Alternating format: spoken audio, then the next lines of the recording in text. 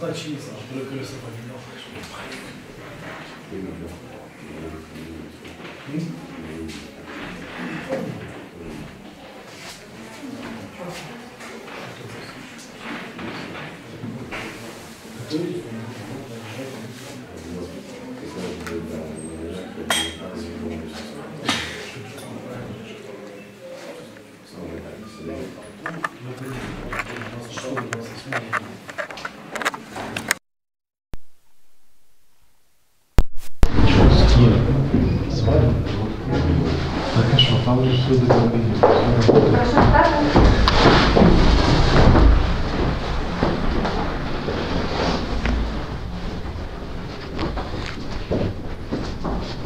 Доброго дня, прошу засідання. Судове засідання оголошується відкритим. Просить вибачення за затримку у зв'язку з терміновою нарадою і так сталося. Да. І у нас прокурор А Губский Эдуард Владимирович, прокурор Русского прокуратуры Николаевского гарнизона, Губский Эдуард Владимирович. Глубський, ви були вже у нас в Е, судовому Так, засіданні, ну, так? по цій 10 справі? років назад так був. Все, тоді е, продовжуємо працювати. І так, у нас оголошувалась перерва е, для виклику свідків, так? Ваша честь, наскільки мені відомо, то е, свідки на минулому судовому засіданні не з'являлись, був викликаний тільки Марковський, якого заявляв Клінус ще на тому на позатому засіданні. А на тому засіданні з наступними свідками не е, вирішили питання щодо е, кого ми будемо допитувати. Мене також щодо вказаних свідків, оскільки всі інші свідки е, проживають в місті Миколаїв та проходять там військову службу. Е, В мене є клопотання щодо допиту вказаних свідків в режимі відеоконференції з міста Миколаєва. Угу. Також е, мені е, теж і до Київського суду їздити кожен раз також. Я можу зі свідками бути в Миколаєві по відеоконференції та проводити допит. Зрозуміло. Ем, Адвокат Рігін, ваша думка з цього приводу? Э, Да, уважаемый суд, э, вчера э, Подольский районный суд, э, проводя э, судебное рассмотрение аналогичного производства в отношении моего подзащитного Барана Александра Вячеславовича, по сути, применил э, такую процедуру. Был допрошен один из свидетелей э, в режиме видеоконференции в присутствии прокурора э, вместе со свидетелем. По сути, данная процедура э, значительно экономит процессуальное время, поэтому я в данном случае поддерживаю ходатайство и прошу провести допрос свидетелей, которые проходят службу в Николаеве э, в режиме видеоконференции, ну, естественно, обеспечить их возможностью отвечать на вопросы. Спасибо. Зрозуміло, Одинцов згодні, так? Ем, Суд задовольняє дане клопотання і ем, наступне судове засідання ем, в режимі відеокон- відеоконференції будемо допитувати свідків. І сьогодні суд ставить на обговорення питання е, щодо доцільності тримання під вартою обвинуваченого Одинцова. Строк е, спливає, а тому слово, прокурору. Тут вважаю необхідне е, продовжити одинцову строки тримання під вартою, оскільки ризики, передбачені статтею Конституційної сторони КПК України на сьогоднішній день не зменшились та продовжують існувати.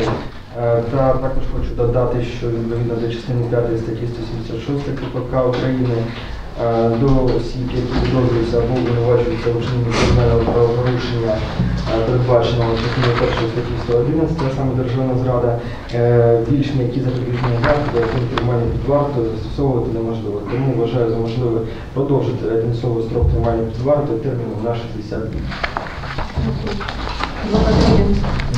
Спасибо. Я однозначно выступаю против продления меры пресечения в виде содержания по стражам моему подзащитному Одинцову Максиму Евгеньевичу. Обращаю внимание уважаемого суда на то, что прокурор э, формально относится, по сути, к вопросу необходимости э, продления меры пресечения, более жестокой э, меры пресечения, нежели э, другие, предусмотренные Уголовно-процессуальным кодексом Украины не называет риски. Он говорит о том, что риски, которые были заявлены когда-то, но он так и не раскрывает эти риски. Я считаю, что в соответствии с положениями Уголовного процессуального кодекса прокурор должен перед судом доказывать наличие рисков и необходимости применения именно конкретной меры пресечения. Я не вижу Э, На сегодняшний момент э, ни одного из рисков, предусмотренных э, соответствующей статьей 177 Уголовного процессуального кодекса Украины. Более того, я обращаю внимание уважаемого суда, что в обвинительном акте четко указано, что материальный вред соответствующим э, деяниям, которые инкриминируются моему подзащитному, не причинен, потерпевших в результате таких деяний нет. Это свидетельствует о том, что отсутствует необходимость содержания под стражей моего подзащитного, поскольку э, в соответствии с требованиями Международной конвенции о защите прав человека и основоположных свобод, необходимость содержания под стражей может быть мотивирована непосредственно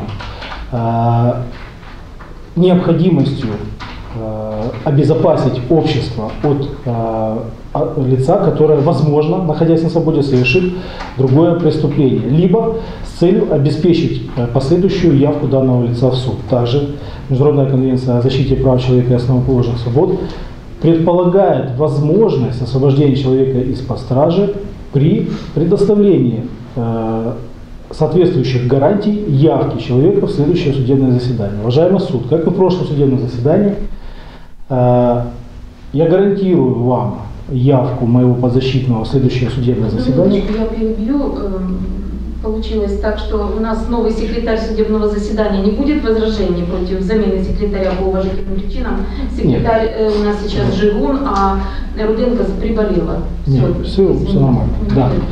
Спасибо большое. Э, Гарантирую вам э, явку моего подзащитного в следующее судебное заседание и прошу обратить внимание на то, что данная гарантия обусловлена следующим. Я прошу вас изменить меру пресечения моему подзащитному с содержания под стражей на круглосуточный домашний арест. Местом нахождения моего подзащитного обязуюсь э, определить место моего фактического проживания и юридической регистрации, город Киев, проспект Маяковского, 51, квартира 47. Считаю, что при мере пресечения в виде круглосуточного домашнего ареста с возложением на моего подзащитного соответствующих процессуальных обязанностей, предусмотренных статьей 194 Уголовного процессуального кодекса Украины, как то а, ношение электронного средства контроля, а также а, обязанность не общаться со свидетелями по данному уголовному производству, вполне возможно обеспечить надлежащее процессуальное поведение моего подзащитного, что является основной целью меры пресечения в уголовном производстве.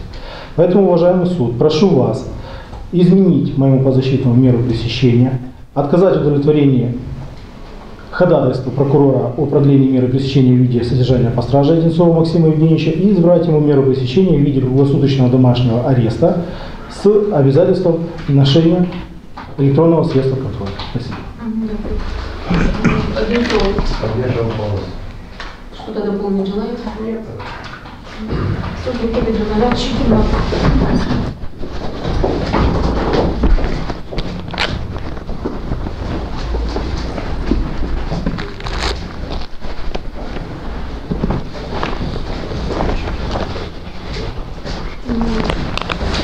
наряд 14. Я коли?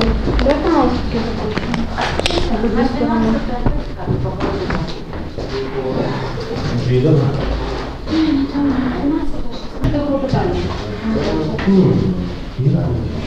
У нас тут такий адвокат, називає двері, особа.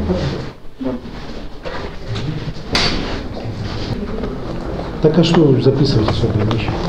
Ну, Ну, прокурор подав клопотання. Ви виступили проти, чому, от які аргументи? Ну, Я считаю, что содержание человека по страже является по меньшей мере негуманно, тем более в таких э, производствах, в которых материального вреда не причинено, потерпевших от инкриминируемых деяний э, нет. Смысл содержать человека по страже и, по сути, доставляя ему э, дополнительные страдания. Тем более перед новогодними праздниками все разъедутся по домам, человек будет сидеть тюрьме. А, Обоснование очень простое, и национальные суды Украины уже пользуются соответствующими обоснованиями. Я лично имею в своей практике уже э, несколько определений национальных судов, которые используют э, нормы международного законодательства, которые превалируют над нормами национального законодательства в отношении избрания и продления меры пресечения. Поэтому я считаю абсолютно нормальным и человечным, гуманным не применять э, в данном роде делах меры пресечения э, в виде содержания. под стражей. Так, оголошується ухвала імені України, прошу сідати. нашої солідарності приємності Містаківська, відповідачу суддів, суддів Лінчук, Ковалєвцевої за участю прокурора Гурського, захисника Рибіна, присекретарі Жургун, провівши відкритим судовим засіданні в залі суду місті Київ судовий розгляд кримінального провадження відносно Одинцова Максима Євгеновича 25.04.2003 року народження. Урочниця міста Саки, е, Автономна Республіка Крим, громадянина України, освіта е, повна середня, одружена, на отримання має раніше не судимо, призвано до Збройних сил 10.07.2000 року Сакським ОМВК Крим. На посаді старшого повітряного стрільця радиста вертолітного загону вертолітної ескадрилі військової частини А-1120. Е, Прапорщик зареєстрованого та проживаючого Крим, Сакський район Сметеного Федоріка, вулиця Марченко, обвинувачений за частиною 1 статті 111, частини 1 статті 408 Кримінального кодексу України встановив на розгляді Дарницькому районному суді перебуває вище вказане кримінальне провадження. Відносно Одинцова продовження запобіження вважає за необхідне продовжити строк тримання під вартою обвинуваченому, е, зважаючи на наступне. України суд ухвалив продовжити строк тримання під вартою Одинцову Максиму Євгеновичу, обвинуваченому за частиною першої статті 408, частини першої статті 111 Кримінального кодексу України в державній установі Київський слідчий ізолятор сроком на два місяці до 18 лютого 18 року. Включно ухвала оскарження підлягає, головуючий підпис, судді підпис. І в судовому засіданні оголошується перерва для виклику для забезпечення допиту свідків в режимі відеоконференції. Будь ласка, прокурор, підготуйте список цих свідків і е, суд забезпечить їх допит в режимі відеоконференції на 12 січня. На 13 годину. Ні, не виходить у вас? Ну давайте. На цьому судове засідання оголошується закінченим. Прийдеться відпочивати.